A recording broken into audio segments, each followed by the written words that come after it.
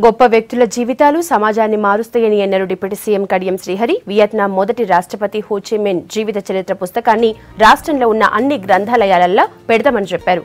Ho Chi Minh నూట ఇరవై ఏడవ జయంతి సందర్భంగా ఆయన జీవిత చరిత్ర పుస్తకాన్ని కడియం శ్రీహరి రిలీజ్ చేశారు.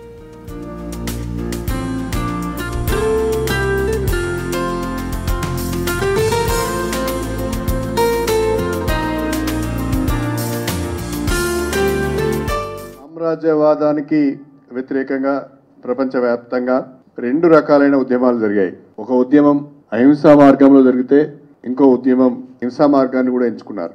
భారతదేశ స్వాతంత్రం కొరకు జరిగిన పోరాటంలో జాతిపిత మహాత్మా గాంధీ గారు అహింసా మార్గాన్ని ఎంచుకొని భారతదేశానికి స్వాతంత్రం సాధించి పెడితే హోచిమిన్ గారు ఆడున్న ఫ్రెంచ్ సామ్రాజ్యవాద దేశానికి వ్యతిరేకంగా అక్కడి ప్రజలందరినీ కూడా సమీకరించి గెరిల్లా పద్ధతిలో అనేక పోరాటాలు నిర్వహించి ఆ దేశానికి స్వాతంత్రం తెచ్చిన మహనీయుడు. మనం ఎలాగైతే మహాత్మా గాంధీ గారిని జాతిపిత అనుకుంటున్నామో అదేవిధంగా హోచ్మిన్ గారిని వియత్నాంతో పాటు ప్రపంచవ్యాప్తంగా ఉన్న కమ్యూనిస్టులందరూ కూడా ఒక గొప్ప విప్లవకారునిగా ఒక కమ్యూని గొప్ప కమ్యూనిస్ట్ నాయకునిగా గుర్తు గుర్తిస్తున్న విషయాన్ని కూడా మనం గమనిస్తున్నాం.